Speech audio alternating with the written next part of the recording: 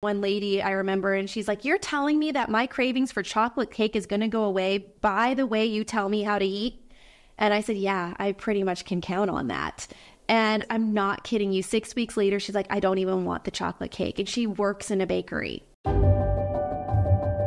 Welcome to the Dr. Ashley Show. Sugar addiction is real.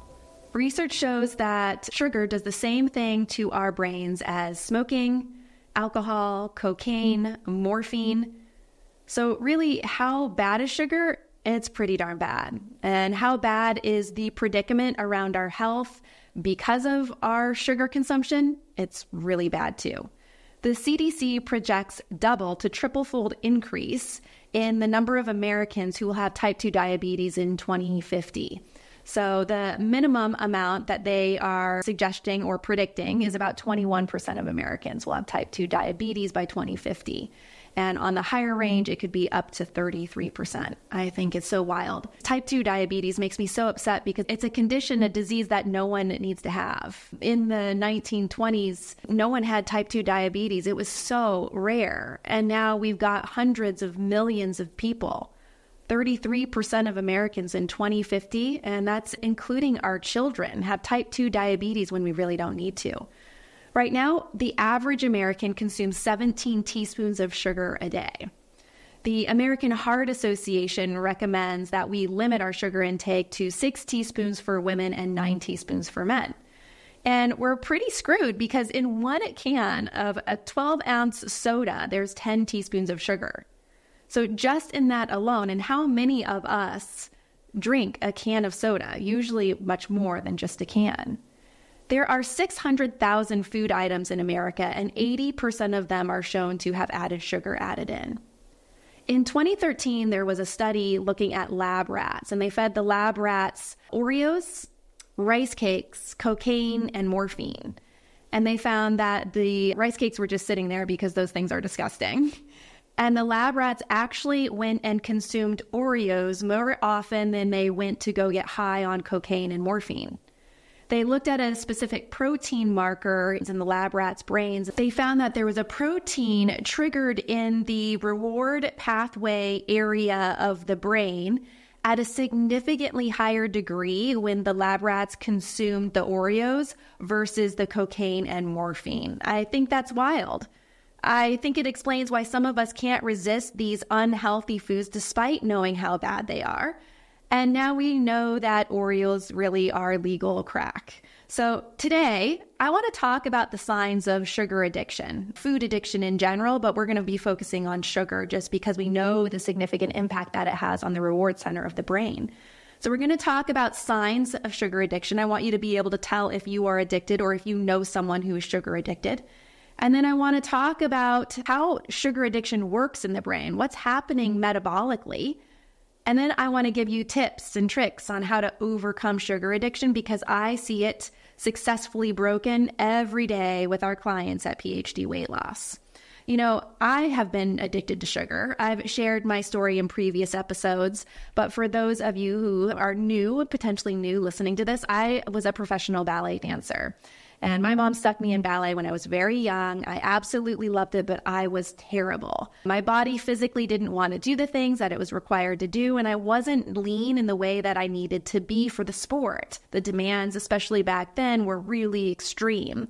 And so I always restricted calories, I counted calories, and I thought that well, I'll be okay if I just eat everything that's fat free, low fat diet. And I remember that I got addicted to candy corn. I was at boarding school for ballet where they handpicked like 30 students between the grades of ninth grade to 12th grade. And these kids were from all over the country, but only about 30 of them for all four of those grades. And there were beautiful dancers from South America and Paris and Russia and all the places that you think ballerinas come from.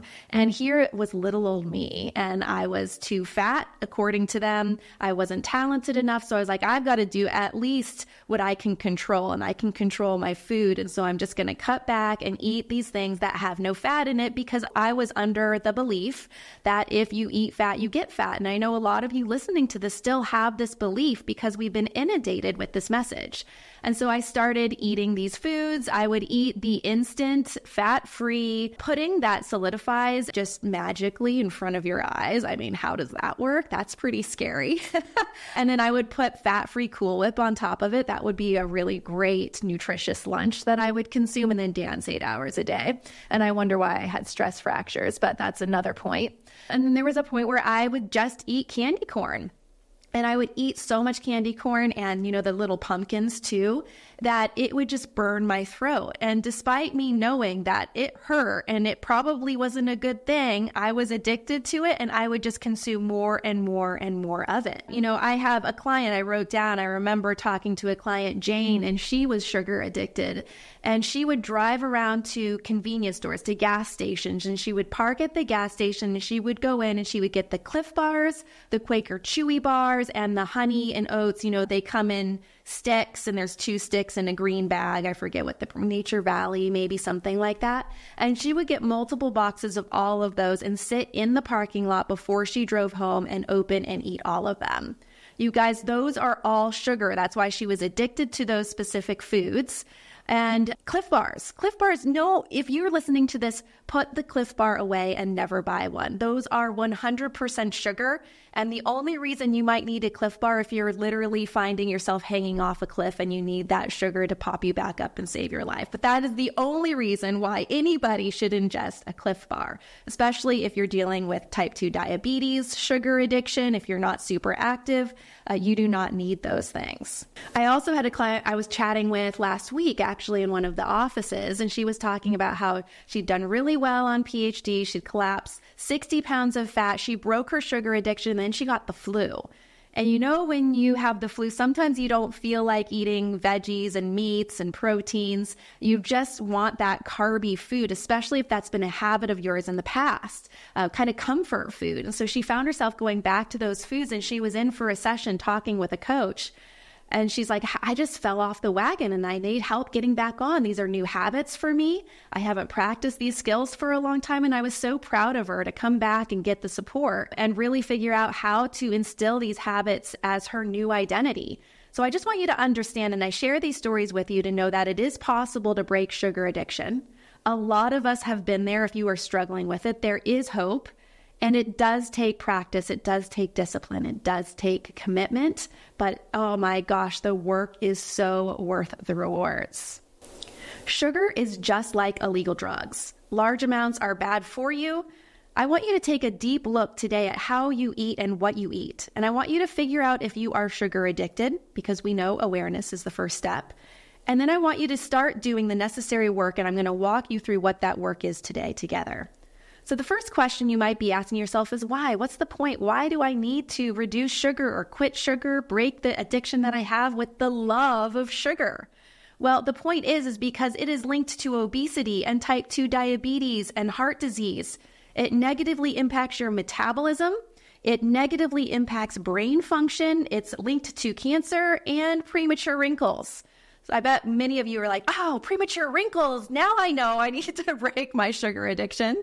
So let's start by talking about the signs of sugar addiction. Mm, it's like any addiction to drugs or alcohol, and you'll notice this similarities as we go through it. So, number one, if you have intense cravings, they could be frequent and intense even when you're not hungry. Number two, if you feel a loss of control, if you've had repeated unsuccessful attempts to cut or quit sugar. Number three, if you consume sugar in large amounts and the pattern steadily increases.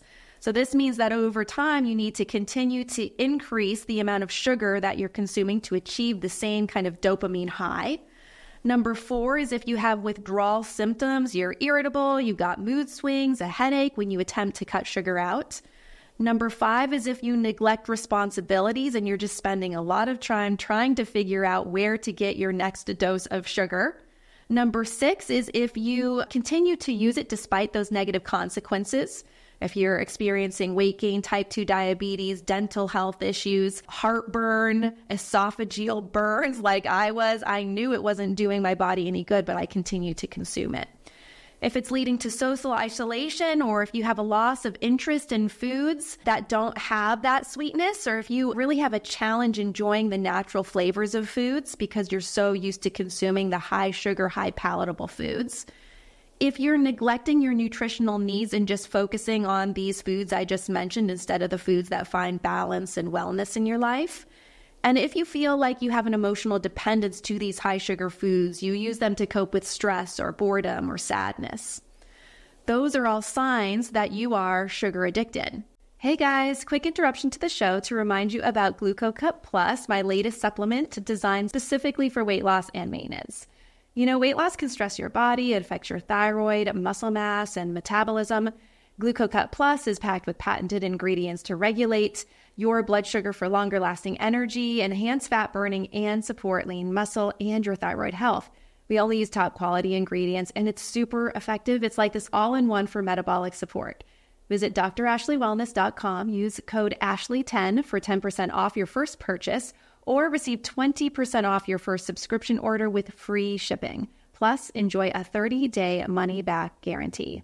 Now, back to the show. So, how does it work? How do we become addicted to sugar? What happens is sugar causes the brain to release dopamine, and dopamine is this feel good neurotransmitter, and it causes us to experience a little high.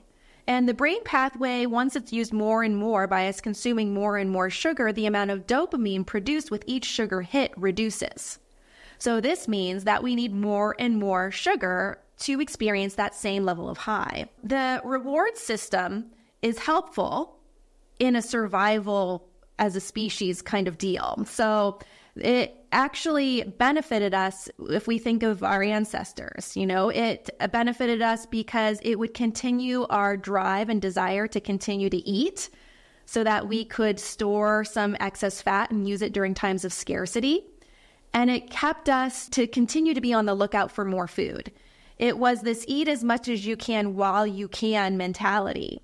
And that worked way back then. But now, with the abundance of food and these highly palatable food, it is really exploiting our survival function. It's a really big issue. I mean, think about if you ate as much as you could while you could right now in today's society, it would just never stop. And that's what's happened. Also, big food does not have our best interest at heart they have a significant influence on our addiction to these specific foods. And I want to walk you through it so that you can see, so that you can see under the veil and understand what's going on and be an advocate for your health. So, number one is big food influences our addiction to sugar and highly palatable foods through marketing. In 2022, there was $17 billion spent on marketing candy, beverages, foods, and restaurants. That's insane. Billions are spent to target you, your wallet, and occupying your stomach with their food product. They don't care about your health at all. All they want is continued revenue. They target your emotions. They link happiness with their product. I was actually at the grocery store, I was at Publix yesterday, and on the end of the aisle display were BOGOs, you know, buy one, get one. And it was for Honey Nut Cheerios. And by the way, when you go to the grocery store, anything that's on the end of the aisles displays are foods that are targeting your wallet. Um, they have the highest profit margin on those foods, and usually those foods are the highly palatable, addictive foods where you're going to buy more than you really need because your brain is wired to do that, and your body is wired to do that as well. And so there were the Honey Nut Cheerios on there, and um, they were a limited edition, which also makes us think like, oh my gosh, I've got to buy this now. It plays with our sense of urgency. High demand, low supply, limited edition and the O's were in the shape of a heart, and it said, Dad makes my heart happy. And then on another box, it was Grandma makes my heart happy, or Mom makes my heart happy. And this is pulling at your emotional heartstrings because what are you going to do? You're going to be like, oh my gosh, Grandma does make my heart happy. I need to buy this box. Or, oh my gosh, Dad does make my heart happy. I'm going to buy this box and give it to him as a gift oh my gosh. And then there was the little heart stamp on there. I'm telling you, and I've shared this with you before. If any product has the heart healthy stamp on it, you need to just put it back on the shelf because it actually means the opposite. Marketing also targets us through persuasive language, through celebrity endorsement, commercials and labels and colors. They brainwash us, they put us into a trance. So, your most suggestive time is actually late at night. And if you think about when do most of us watch TV? We're sitting down, we are exhausted, we have no more willpower because if you've listened to my previous episodes, you know that willpower is a finite um, resource. We run out of willpower at night, we are fatigued, we have decision fatigue, and we're just sitting there and we're kind of slowly drifting off. It is mm-hmm. during that period where we're slowly drifting off that we are so suggestive. And if you think about the commercials that they're playing, they're either playing commercials about prescriptive drugs and making them sound like, oh my gosh, they're going to bring you total fulfillment and happiness in your life.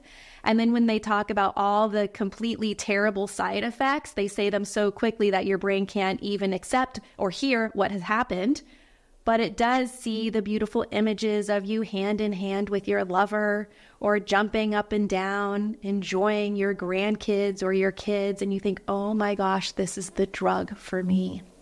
They also do it through commercials for food. Doritos, the Honey Nut Cheerios, McDonald's, Burger King. I'm telling you, they put you into a trance. Whatever you watch on TV at night, you only want to watch it if you want to experience it. Um, and that is for me why I no longer watch TV at night because, man, it really impacts me. And it's not just me, it's all of us out there. You have to be aware of what they're trying to get you to act on. So, big food also influences us through food engineering.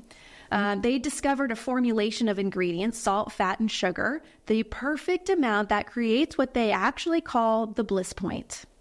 The bliss point is where you just cannot say no because the foods are engineered with mathematical and scientific formulas so that the richness, the sweetness, the saltiness, the crispiness is so perfect you can't just have one. What is that, Pringles? Uh, pop it and you just can't have one? It is so true because they have specifically designed it to be that way so that you have to consume more and spend more. The crunchiness, you can't say no. I think I've shared this story on a previous episode, but Doritos they actually concoct their chips so that maybe one in 10 chip is saltier and a little bit more spicy. And you don't know it, but your brain is driven to keep eating those chips so you can find the next one that's more highly palatable than the one before. What does that do? That makes you addicted to the food and it also makes you consume more of it, so you have to buy more bags of it. There's actually a lot of research on binge eating disorder and found that most folks binge eat exclusively on highly processed foods. And the habitual intake of these processed food actually alters that reward pathway center of the brain and makes you more inclined to desire those foods. We really don't find a lot of people binging on steak or on a stick of butter or on heavy cream. There's just really only so much of that. And when you eat those natural whole foods, there's something in them that trigger the brain to be like, okay, man, I'm done. I really don't need to consume more. So if you think about having, and I know a lot of people love steak, so maybe it's not the best example, but if you think of having some chicken on one plate and container of ice cream on the other, what one are you more likely to eat and overeat on and why? You know, I have a client who started with me, Bobby, and he had 80 pounds to drop. He had type 2 diabetes, high blood pressure, high heart rate. He was just dying and he was miserable. And he told me, you know, Dr. Ashley, I'm so nervous to start this because I don't know how I'm going to give up Cheerwine. I've never heard of Cheerwine before, Bobby. It's a Southern thing, and me living in Asheville, I probably should hear about it, but I really am not in the pop arena. so I didn't know much about it, you know? And he's like, I just drink liters of this every day, and I have since I was a kid, and I don't know how I'm going to do it. Like he was very, very fearful, but we helped him through it And I can say that it was painless for him. Not that it was not a big deal, not that he had to commit and be disciplined and work through it, but it was not as bad as he thought. And I'm happy to say that Bobby has not gone back to Cheerwine in over two years and he has kept the 80 pounds off. He's no longer type 2 diabetic, no longer has high blood pressure, and his heart rate dropped within normal range within three weeks of starting the program. So I share that story with you so that if you are sugar addicted or you know someone who is, it really is a process filled with fear. It's a big deal, but it is possible to create that change. So, the last way that they get us through um, big food influence is through portion sizes. So, since the 1980s, portions have over doubled. And we like that because we think we're quote unquote getting better value. It leads to distortion of what is normal when it comes to portion sizes. So we get portion distortion. At PhD, you know, we provide a lot of the food to our clients at no additional cost. And the reason why I implemented that is to help with portion distortion. People would come in and think, oh my gosh, I need a lot of food or I need the specific amount. I'm going to be starving. And they wouldn't over time even know what a normal portion was because we've got such distortion. So when I'm able to provide the clients their breakfast meal or their lunch meal, and they put it together and they're like, oh my gosh, this is it. And then they eat it and they're like, amazed. Oh my gosh, is this seriously all that I really need to eat? I'm not saying it's a small portion, but compared as to what you get at Olive Garden or your super size me at McDonald's, it's smaller than that.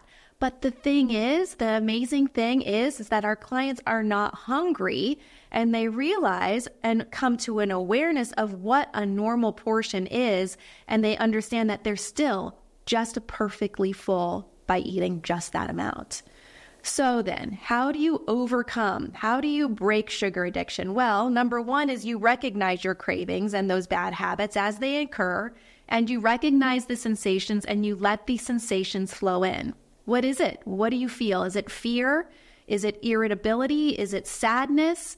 It's okay to feel those feelings and you let them come in and then you let them move out whenever they're ready to move out, just like a cloud passing by in the sky.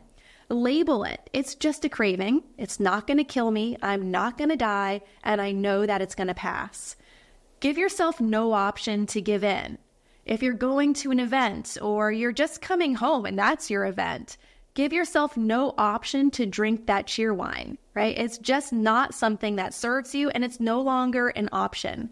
Turn those foods to black and white and put all of the foods in your mind's eye that are healthy for you in the best, vibrant, most color. Those are the foods that serve you. The black and white foods, those processed, highly palatable, high sugar foods are black and white and they're nothing that is, you know, going to serve your body. Visualize. A lot of people like to visualize the negative feelings associated with what giving in would feel like. What would it feel like after you've committed to yourself to break these ties with these addictive foods if you did give in? How would you feel if you gave in? What would that look like? How would your family members uh, respond to that if they knew that you'd committed to giving up those foods? Remind yourself of your why. Why do you want to overcome this? Why is this so important? You know, I find that for our clients, when we're establishing a why that's bigger than yourself, is really important. So while you're doing this for yourself, you might also be doing it for your kids to be a role model for them so they don't have to go through this when they get older. It might be for your grandkids. I want you to think about what is your why and how do you make your why bigger than just yourself. HALT. Hungry, angry, lonely, tired. HALT is a really good acronym for the times as to which you might succumb or more readily succumb to these addictions. If you're hungry, if you're angry, if you're lonely, if you're tired, you are going to be at high risk to give in to these foods. So, what I encourage you to do is to create a plan for when you are hungry, angry, lonely, and tired, because all four of those are going to happen. But what is your plan? Is it you're going to have a cup of hot tea instead of the donut that you would otherwise consume? Are you going to go out and go for a walk and get some sunshine and change your scenery? I've said this before, but your environment is always stronger than any willpower. If you go home and you have all of these foods around you, it's going to be really, really hard. So you need to get your environment to support the easiest choice. Uh, let me say that in another way. You want your environment to support your values, to support your goals. You also want your environment to support your easiest choice. And so, what I mean by that is if you want during the times where you're hungry, angry, lonely, and tired to go grab some uh, deli meat, for example, and a piece of cheese and some avocado, and not grab the gummy bears and the sweet uh, candy bar that's in the pantry. You do not want to have the gummy bears and the sweet candy bar in the house at all because you know you're going to go over to those foods. So create that environment so it's conducive to your overall goals go for a walk, go outside, change the scenery, change the environment. If you get upset and you get triggered, let's say by your boss at work, and you have a colleague who has candy on her or his desk, and you generally go over there and grab one of those things, you need to change what your action is. So instead, it's no, I'm not going to go over to Susie or Bill's desk and grab one of those Hershey kisses. When I get triggered, I'm going to go down the stairs and just walk up and down the stairs. Or I'm going to go outside, I'm going to stand outside, I'm going to take 10 deep breaths. It's something to knock you out of that state, that state that you usually go back into. That's a, an old habit. You have to change that state, change that habit. You need to shift your metabolism. I want you to consider shifting how you eat. And this is what we do at PhD by designing their customized meal plan and helping them shift their metabolism into a state of fat burn, their desire for these highly palatable foods actually goes away. I know it's really, really hard to believe, and you're like, oh, yeah, she's just saying that. But really, if you were to go to our website, it's myphdweightloss.com, and look at over 1,100 near five star reviews, you will see so many of them talk about a mindset shift. There's one in particular, one lady I remember, and she's like, You're telling me that my cravings for chocolate cake is going to go away by the way you tell me how to eat? And I said, Yeah, I pretty much can count on that. And I'm not kidding you. Six weeks later, she's like, I don't even want the chocolate cake. And she works in a bakery. So I just share this with you because it is possible. And if you can focus on protein first, whenever you eat, whenever you eat protein first and your healthy fats, some veggies in there, and maybe some berries, I promise you that if you design it accurately, then your cravings and your hunger for those addictive foods should go away completely or at least significantly reduce, and you should have freedom from food. Eat in a specific order. And I just kind of briefly mentioned this, but you want to make sure that you eat your protein your protein and your healthy fats first. So if there was a specific order, I would probably encourage veggies first, your proteins and healthy fats, and then if you really feel you need them, the starches and the carbs would be at the end. That's going to be helpful from a blood sugar regulation, and that there is also helpful for combating cravings. Don't purchase the crappy food. Don't get the honey nuts. Don't purchase anything that's at the end of the aisle in the grocery store. Maybe that's your first goal. I'm never going to purchase anything that's at the end of the aisle in a grocery store. Research shows that if you don't purchase that food, then it actually cuts your intake by a third. So at least that's something. If you're stuck in a house with kids or a spouse or a partner who just will not say no to those foods, Ask if you can put them out of sight, out of sight, out of mind, the saying goes, but it really is true. So you could have them put it in a cupboard. They can have a special area, and that's black and white. That cupboard is black and white to you, and you just don't go in there stay hydrated, and then sleep. Sleep is really key because I think I did an entire episode on this and the impact that sleep has on reducing cortisol. When cortisol is elevated, you've got high stress hormones, man, it's going to be really hard to say no to these high sugar foods. My husband, he's a physician. During residency, he had to do a rotation where he did nights. And that means he was up all night, really pushes your circadian rhythm off high stress, doing stuff that he wasn't confident in, you know, really uncomfortable. And he'd come home and he'd sleep a few hours and have to repeat it.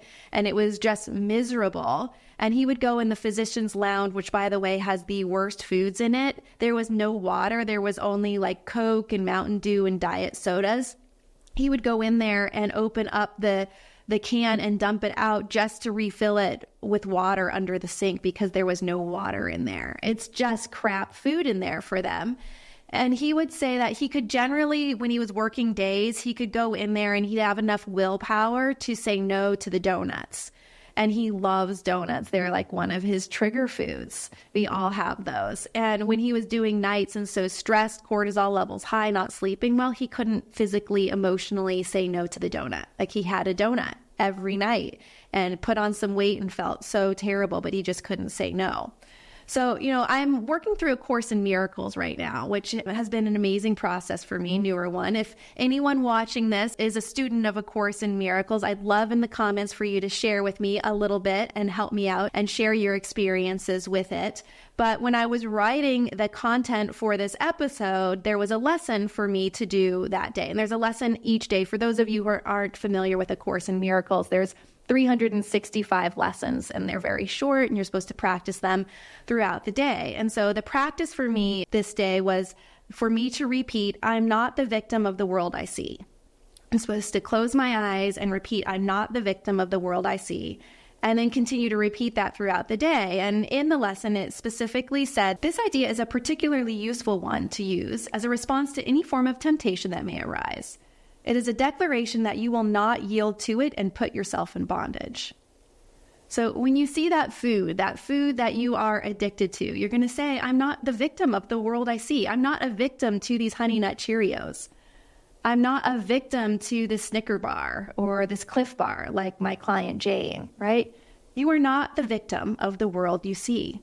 So today I urge you to stay disciplined, to stay committed, to set standards for yourself I want you to understand that saying no is a form of self respect. Oftentimes, we think when we say no, we're depriving ourselves or we're restricting ourselves. Saying no to whatever that food is, is respect. It's letting go of the foods you say you love that don't love you back. You deserve love, you deserve empowerment and strength.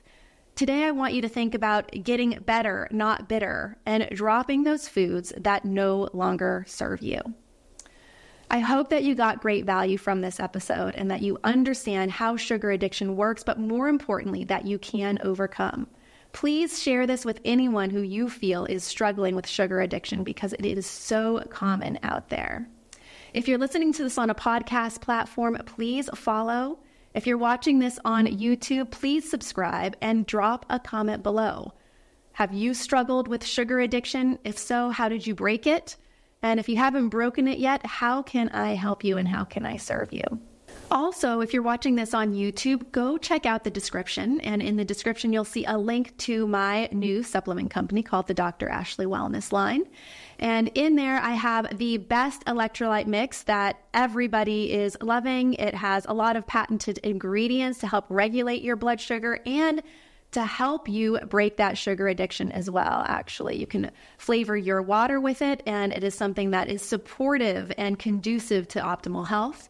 So please do go check that out if you're interested. Remember, you got to step up to make the change. Lead with your heart, train your mind, and do not negotiate with your body. I'll see you next time.